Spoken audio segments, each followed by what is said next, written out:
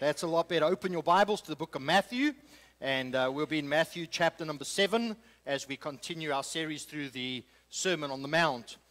Uh, we have been uh, going through the sermon for the past about a year and four months now, and as we are getting to the end of the Sermon on the Mount, it's here where Jesus is really um, uh, pushing us to make a decision and is really pushing uh, to, for us to consider the reality that righteousness only comes uh, through Jesus Christ.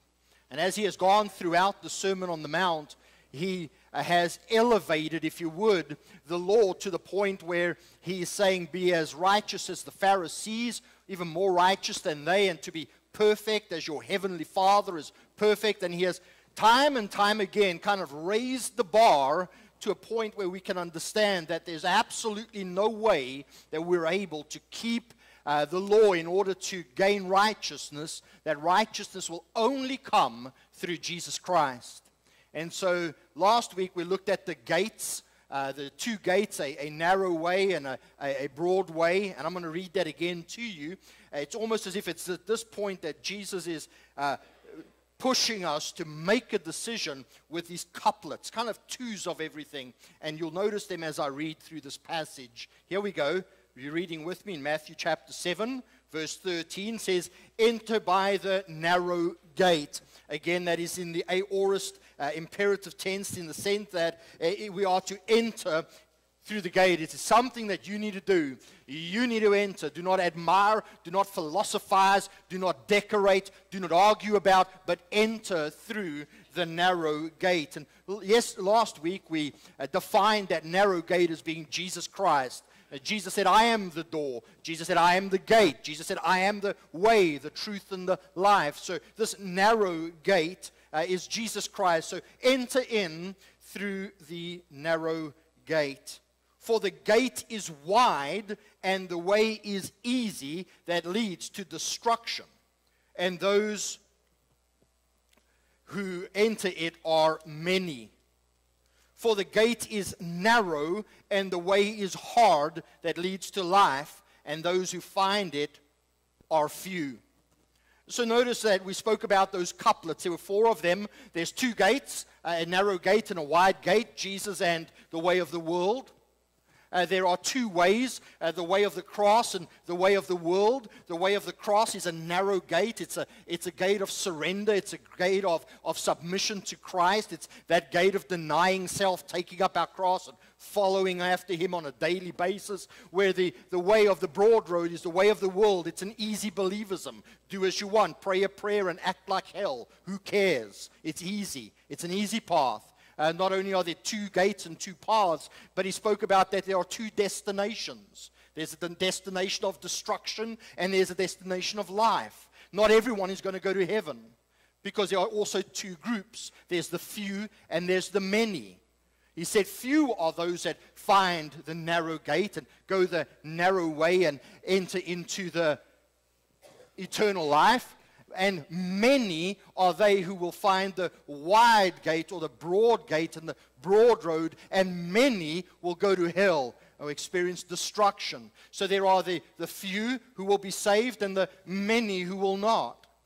And we spoke about how important it is to understand that there's only one way, and that is Jesus. I sang that little song to you, and afterwards someone came to me and gave me a check for 500 bucks, and if I would not sing again. So I'm going to have to give the check back because that song goes one door and only one, and yet its sides are two. Inside and outside, on which side are you? That's the reality of what Jesus is teaching. And he's pushing us and prodding us and prompting us toward making a decision. Have you made your decision? And now the next passage, and this is the passage we're, gonna, we're going to be in this morning, it's almost as if it's a parenthetical passage because uh, it does not really tie up with the other. And I'll show it to you. Look at this with me. Verse number 15. Beware of the false prophets who come to you in sheep's clothing, but inwardly are ravenous wolves. You will recognize them by their fruits. Are grapes gathered from thorn bushes or figs from thistles? So, every healthy tree bears good fruit, but the diseased tree bears bad fruit. A healthy tree cannot bear bad fruit, nor can a diseased tree bear good fruit. Every tree that does not bear good fruit is cut down and thrown into the fire. Thus you will recognize them by their fruit.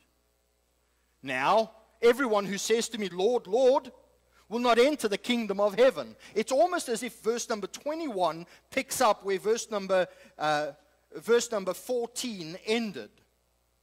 Not everyone who says to me, Lord, Lord, will enter the kingdom of heaven, but the one who does the will of my Father who is in heaven. On that day, many Um, this many in verse 22 ties us back to the many in verse 13. The many in verse 13 are the many on the broad road that leads to destruction. And here we see them again. On verse 22, it says, On that day, many will say to me, Lord, Lord, did we not prophesy in your name and cast out demons in your name and do many mighty works in your name?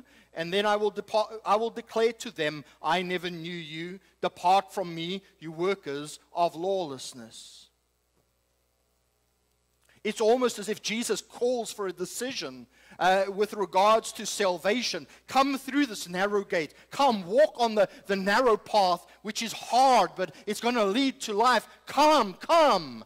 And then he says, and beware for the false prophets. Uh, I, in my mind's eye, I can see these false prophets maybe standing at the, the gates of the, the Broadway and, and they're flagging in. Come here, here, it's great. Here's fanfare. Here's life. Come, do it this way. Here it is. And the true prophets are standing at the, the narrow gate and they're saying, For God so loved the world that he sent his only begotten Son, that whoever believes in him shall not perish, but have everlasting life.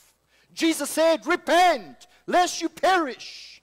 Jesus says, Lest a man deny himself, take up his cross, and follow me. He cannot be my disciple. Come, come, repent, lest you perish. And the ones in the broad road are probably got a big smile with big teeth and saying, Oh, your purpose is right here. It will come to this easy believism.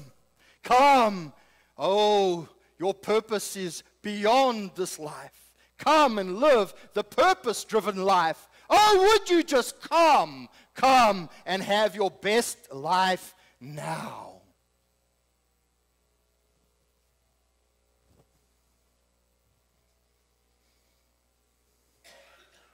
There's a warning beware.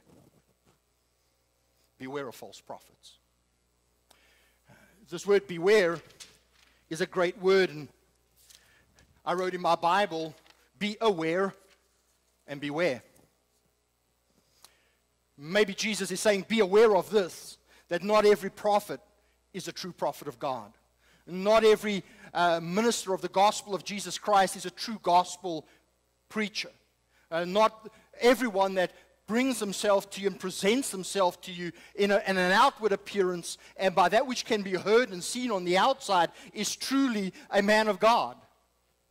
There are many that will come in sheep's clothing. And Jesus spoke about that, and I will take you back into some passages as we see that this was nothing new. This was something that the nation of Israel knew very well. In fact, the, the Jews would fully understand what was being spoken of here when they would go back to Zechariah and read of those who were wolves among the sheep. So they would go back to Jeremiah and would see those prophets that ran, although they were not sent. They spoke, although they were not given a word. Uh, they would go all the way back into uh, Isaiah, and Isaiah would speak of those false prophets that would come Listen, this is not some new concept. The false prophet concept was way before the birth of Jesus Christ, but also it was nothing new to Jesus. Remember, Jesus said to his disciples, I send you out into the world as sheep among the wolves. Remember what Jesus said in the last days in Matthew chapter 24? He said that uh, in those last days there will be those that would want to um, uh, lead us astray. And so in Matthew chapter number 24 and verse number 4, Jesus says the following And Jesus answered them, See to it that no one leads you astray. In verses 10 of Matthew 24, he would now go on and he says to them, And then many will fall away and betray one another and hate one another. Verse 11, and many false prophets will arise and lead, here's the word, many astray. If you drop your eyes in Matthew 24 down to the 24th verse, Jesus warned, For false Christs and false prophets will arise and perform great signs and wonders, so that as to lead astray, if possible, even the elect. Well, what is he saying? He's saying this even those who have, who have been called into the kingdom, even the born again, uh, they are going to have such strong uh, arguments and such strong signs and wonders that if it were possible, which it's not, if it were possible, even the believers will be led astray pseudo prophetes. Pseudo prophetes. Uh, we get this word pseudo as false, and prophetes comes from one who will speak forth, one that will speak forth. A pseudo prophetes. This is a false speaking forth. This is people who will stand and proclaim, Thus says the Lord, when they've not spent time in the presence of the Lord. They will say, This is the message of God. Uh, but there's not a message come from God, but from their own dreams and visions and imaginations. We live, in fact, in a time when it has become pretty uh, fashionable to dream dreams and see visions. In South Africa, at this moment in time, there's a, a strong movement of these that are calling uh, that, there's, that God has told them that there's going to be a tsunami that will hit Cape Town. Now, we're not telling you to run, but we are telling you, uh, you know, seek God and do what you, what you think is right. But there's going to come a great wave, a, a great tsunami, and it's going to wipe out the whole of the Horn of Africa. And so God has revealed this to these dreamers of dreams and, and seers of visions, but they themselves have not picked up and left Cape Town. Are they certain of that? You see, that is the fashionable movement today. It's what I feel, what I, what I think, what my opinion is. What do you think about that? And there has been an absolute move away from the inerrant Word of God. And we are being called back to say that there is something that is objective on which you can put your thoughts, on which you can put your opinions, on which you can place your belief and your practice, and that is the Word of God. God's Word never changes. And God speaks to us today through His Word. Now, I understand that in the, the early days of the church, in the apostolic era of the church, that God would use prophets. God would use all these kinds of things. But now that we have the written word of God, God is using his word to confirm that which he wants us to know. Once we had the word in flesh, Jesus Christ, now we have the word in writing. And we would do well to heed this word in the days gone by, in fact, in the uh, late uh, first century, uh, there was a, a, a book written uh, called the Didache. And that, that, was a, a rule book or the teachings of the apostles. Uh, it is not part of the, the scriptures, but I, I, I want to share with you just a few statements that uh, spoken about to the early church. Now, this dates back to somewhere around 90 uh, AD to 100 AD that this is being written to the churches how they should handle prophets that would come to them. And I'm reading to you from a, something that is cited out of uh, William Barclay's commentary. Now, this is what the Didache had to say with regard to regulations concerning the wandering prophets. A true prophet was to be held in highest honor and he was to be welcomed, and his word must never be disregarded, and his freedom must never be curtailed. But he shall remain one day, and if necessary, another day also. But if he remain three days, he's a false prophet. He must never ask for anything but bread. If he asks for money, he is a false prophet. prophets all claim to speak in the Spirit, but there is only one acid test. But their characters, a true and a false prophet, shall be known. Every prophet that teacheth the truth, if he not do not what he teacheth, is a false prophet. If a prophet claiming to speak in the Spirit orders a table and a meal to set, be set before him, he's a false prophet.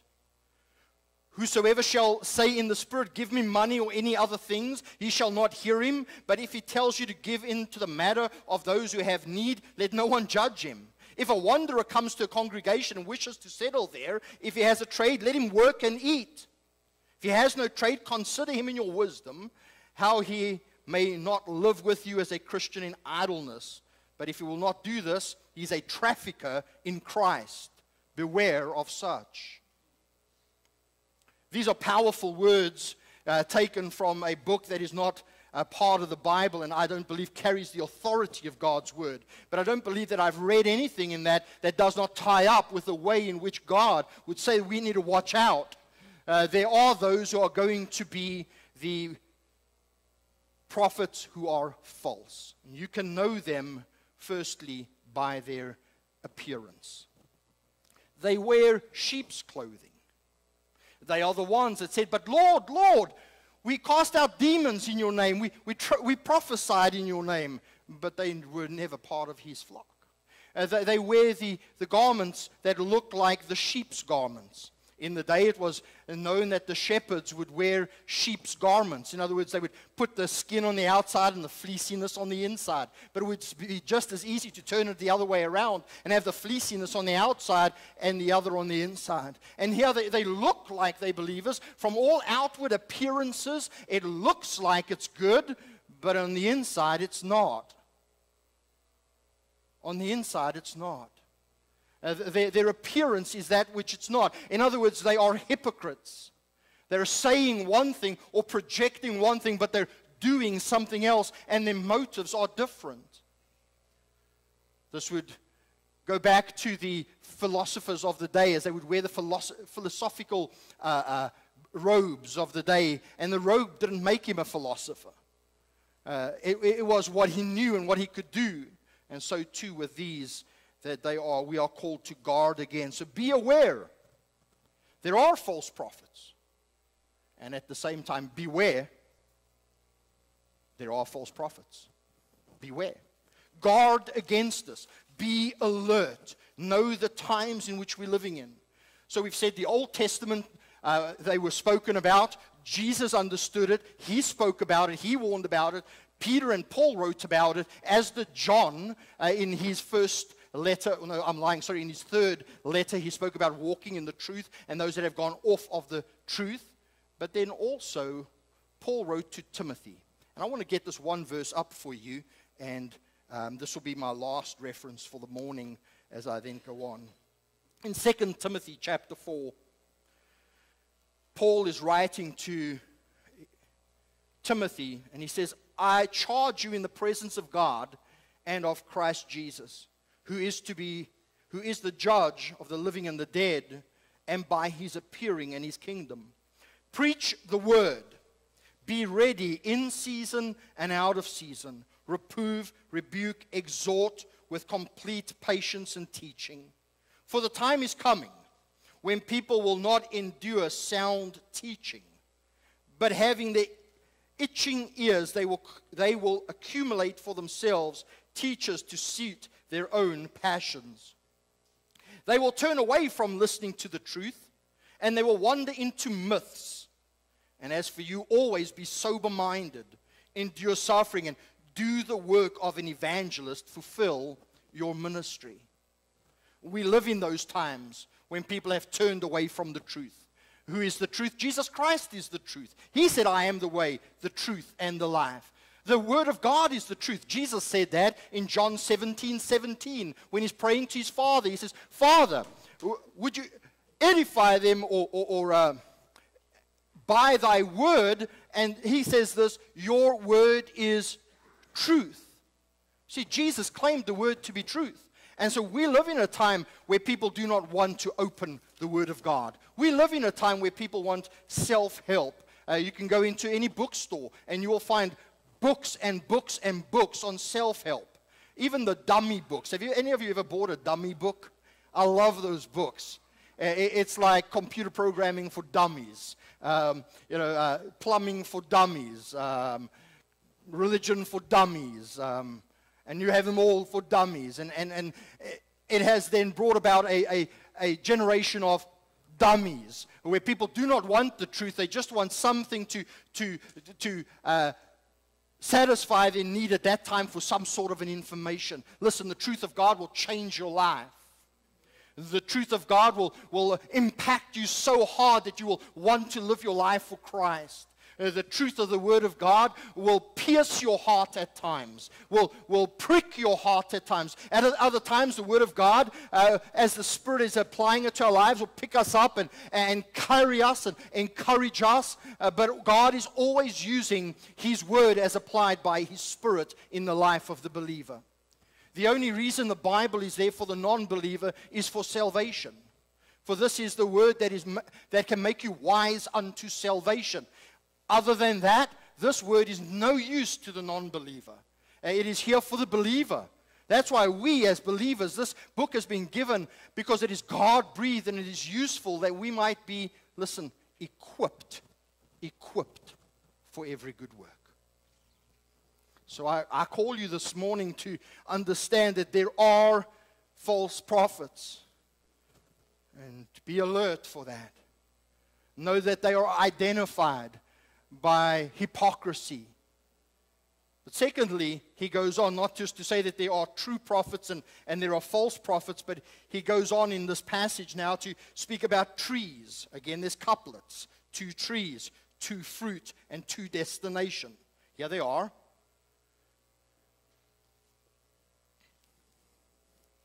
You will recognize them by their fruit. Are grapes gathered from thorn bushes or figs from thistles?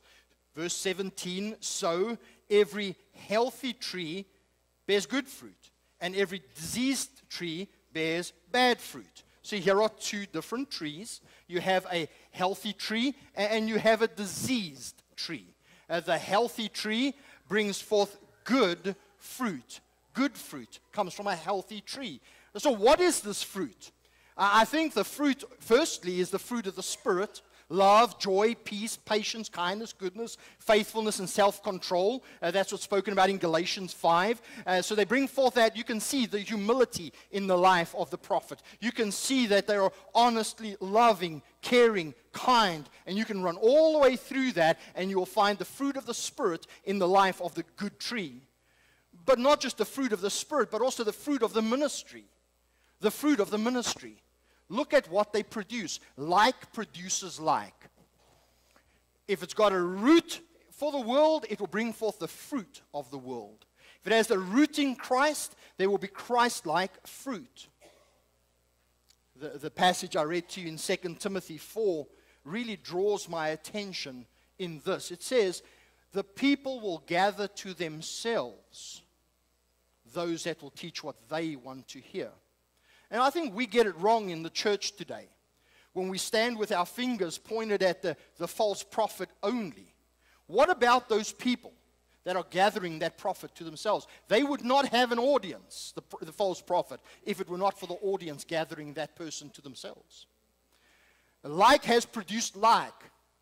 They want self help. They want self. They want health, wealth, prosperity. They want easy believism. They want their sin. They want themselves. And now they've gathered that one that will teach them that they can have what they want. And that one wants what they want. So look at the fruit of the ministry of a prophet. And you can immediately see what, the, what, what's coming out. Uh, is the fruit uh, of the ministry bringing forth believers that love the Lord Jesus Christ, that are daily willing to deny themselves, daily willing to give themselves for the cause of Christ, those that are dedicated to the cause of Christ. That's the fruit of a ministry that is Christ centered and centered around the teaching of the Word of God. But then you go to other ministries that have false prophets, and, and, and the, the fruit of their ministry is selfish people, worldly methods, uh, that which is done that is contrary to the Word of God. Philosophy is held high, the Bible is never opened. That is the fruit. Like produces like. Show me a teacher, I'll show you his students. Show me the teacher, and I will show you his students. See, every teacher has their bias and things that my dad, when, when I was just learning, uh, I just started in seminary, and every time I had to preach, I would always go to one certain thing. And, and my dad is a pastor, and he's trying to help me, and he would say, You need to cut the leash. I'm like, What are you talking about? He says, You got this little pet, this little dog that you take with you everywhere, and you can be preaching on a, and you're going to bring the little dog of Z into the equation. You always got your little dog you're bringing in because that's where you're comfortable. You need to preach the Word of God, allow for the text to drive the sermon. Do not bring in your own thoughts to try and drive because that's where you have a leaning toward. And so it is true with false prophets. They have a leaning toward worldliness. Their fruit is worldly, and they're going to bring forth the fruit of worldliness. That's why there's not a day that goes by that we don't hear of these men who have claimed to be uh, sent of God and claiming the Jesus is coming. Was this in um, Pennsylvania? Where was that the last time? A couple years ago. Um, Jesus is coming, and people were selling all their stuff, giving it to this guy. And, and I'm like, give it to me. I don't believe he's coming right now. Why do you want to give it to him? And, and Jesus didn't come on that day. They were not raptured on that day. And you know what? That was the third time that that man had said that the rapture was going to take place. At what point do you stone the prophet? I'm, I'm not saying kill them, please don't misunderstand me. But in the Old Testament, that was the proof of, of, of what was true 100% accuracy. At what point do you stone the prophet? But he still has a leading today or following today. There's not a day that goes by that we don't hear of these men falling into sexual sin. We hear of these men falling into alcoholism. We hear these men falling into a, a charade of, of different things. And it's this because they are charlatans and they're picking the pockets of people in the name of Jesus Christ. Charlatans. And Jesus warns us be careful. Be careful because they are trees that are diseased and they will bring forth bad fruit. But the one who is the good tree, listen to what he had to say about him. The good tree or the healthy tree cannot bear bad fruit. That hit me. Not might not, but cannot. So, what are you saying, Lord? This is what he's saying that the true prophet is the one who is the man of God, indwelt by the Spirit of God, speaking the word of God in the power of God to the people of God. That's what he's saying. It's not a one day this and the next day that. It's, there's a consistency that is brought forth by the power of God and through his word. A healthy tree cannot bear bad fruit, nor can a diseased tree bear good fruit. It's impossible. Every tree that does not bear fruit is cut down and thrown into the fire.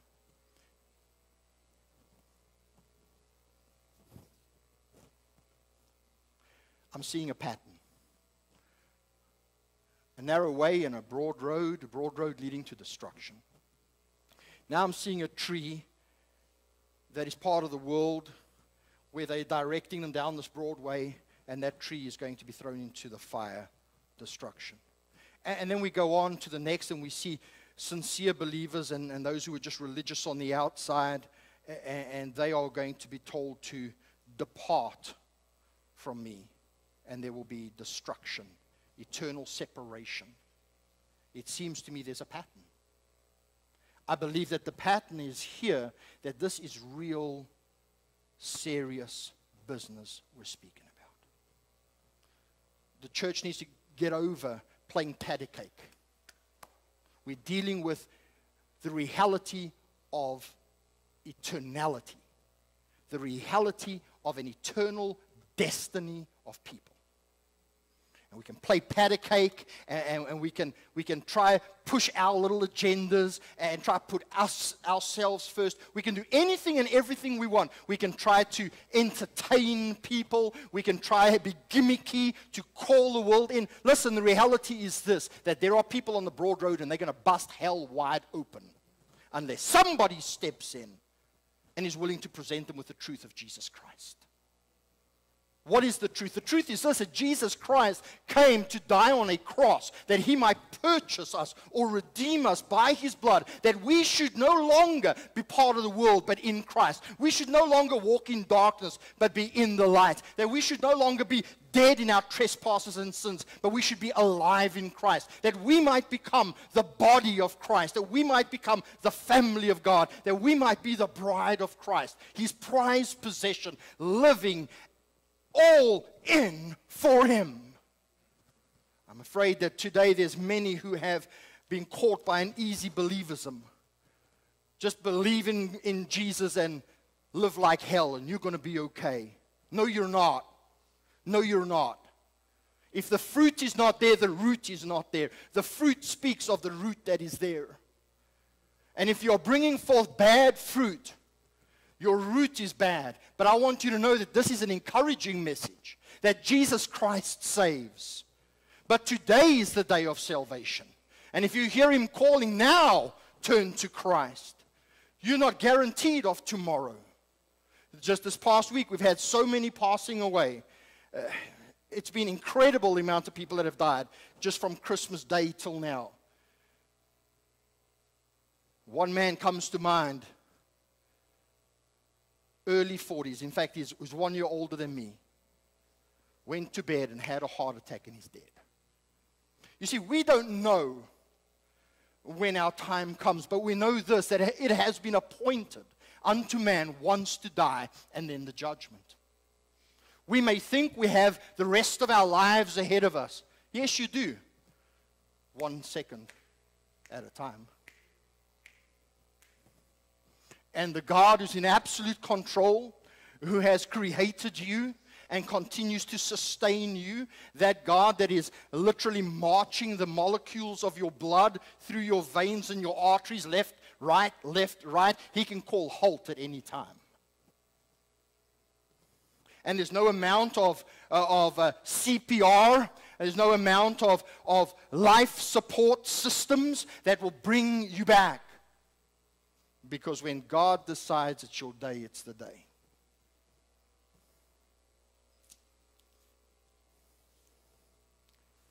I want to run through just a, a, list of things I wrote down, and, and then I'm going to shut up and sit down.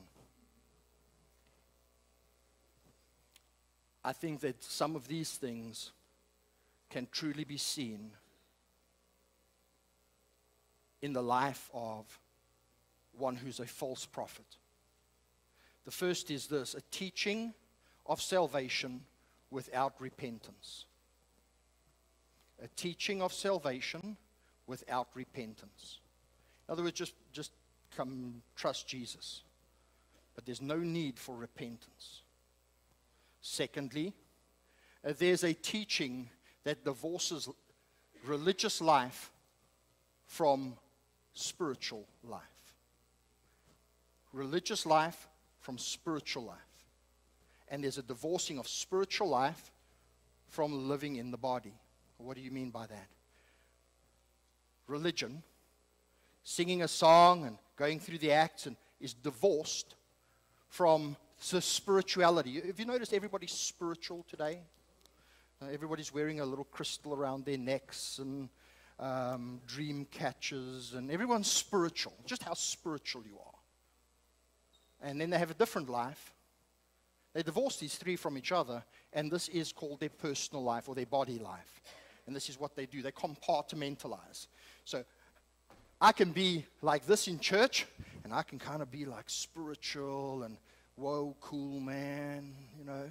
And then I can be a drunk, I can be an adulterer, I, I can be a foul mouth, I can be a glutton, I can be a but as long as I've got this here, I'm doing my, my religious duty, and, you know, I am also kind of spiritual. Doesn't matter how I act here. That's what's being taught today. A compartment, compartmentalization of life. We see it today in control. Control. And ministers that want to exercise control. We've seen the Jim Joneses come and go. We all know who Jim Jones was, and as he led them to drink the Kool Aid, is, what, is, is the, the, the, what people use to try to explain that. And it's a very sad thing how this false prophet and everything would center around him. There's always a focus on the external and never on the internal. It's always on the external health, wealth, and prosperity. It's just what you have. But there's no focus on the internal, the motive of the heart, the, the condition of the heart. Furthermore, the scriptures are never opened. It's always the opinion of man, and when the scriptures are opened, they're never opened in context. In other words, they're opened in such a way that the word that comes forth is not the word of God, but a twisting of the word of God to twist the arm of man to fulfill the desire of the false prophet. A twisting of the word of God. Typically, there is always a, a, a, a um, focus on prosperity. Always a focus on prosperity. Whether it be physical prosperity or whether it be financial prosperity, with false prophets is always a focus on prosperity. Prosperity. How are you prospering? One of the television preachers said this You do not live in my house because you do not have the kind of faith I've got. My house is bigger than yours because my faith is bigger than yours. And I wanted to send him a, a letter and say to him, I wonder how small Jesus' faith was. He did not have a he didn't have a place to lay his head. Poor man. You see, this is distorted. This is the doctrines of demons. And then lastly, there's always hoops to jump through in order to gain salvation. There's always hoops to jump through in order to gain salvation. So that's fine. We understand Jesus, they preach Jesus, turn to Jesus, but you know, you have to be baptized in the church. And you have to come to Mass. You have to fulfill Mass. And, and, and don't forget, you have to go to confessional. You've got to go to confessional. And don't forget, uh, you also uh, have to uh, make penance uh, for your own sins. Uh, and don't forget, and so they start adding do this and do this. And it's almost like they're on a, a step ladder, but ultimately, that step ladder is a broad road. And that broad road, although to them in their minds is a narrow way, it's not narrow at all. It is so broad that it leads to destruction.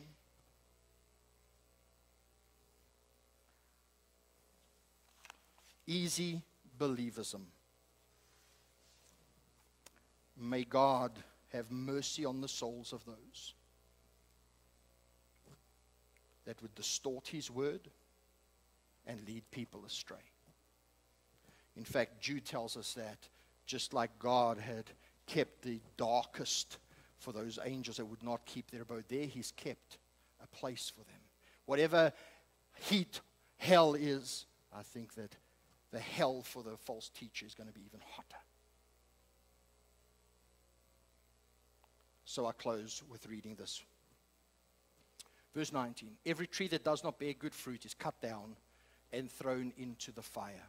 Thus, therefore, you will recognize them by their fruits.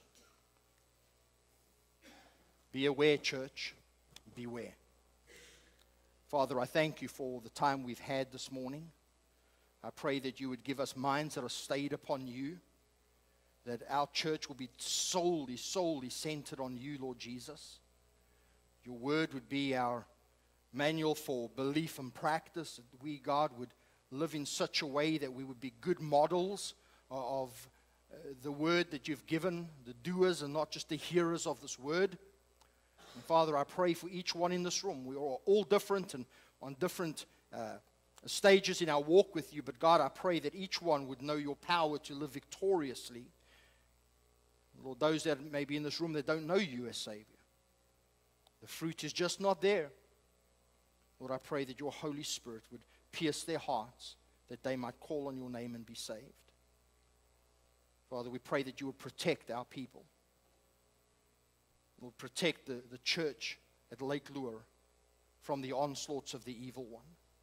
Protect our minds. Lord, I pray that you would help us to be alert to those teachings that are out there, God, that we might be very discerning.